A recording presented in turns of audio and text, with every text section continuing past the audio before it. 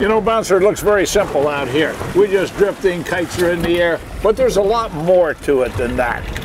Tell me, so that I can share it with our viewers, how you drift for sailfish, tuna, whatever's out here. Well, we're very lucky in South Florida because the Gulf Stream comes in close to shore, and our sea anchor takes the greatest advantage of that Gulf Stream being close to shore. The current is running from south to north. Today it's running almost three knots. Right. So the boat, the, the boat wants to go to the north.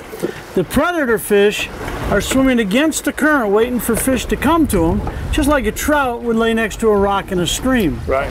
Well, that sea anchor makes the boat go as the same speed as the surface current. Now, So- if, you, if you go too slow, what happens?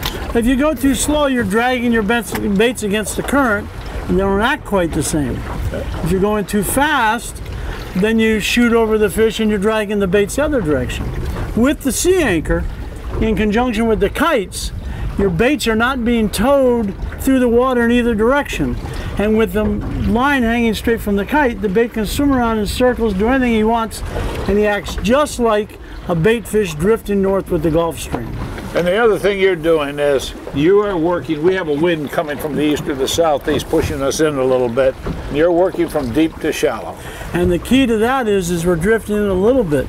With that big sea anchor out, we're just creeping towards shore. So we're covering each depth of water very thoroughly as we slowly slide towards shore.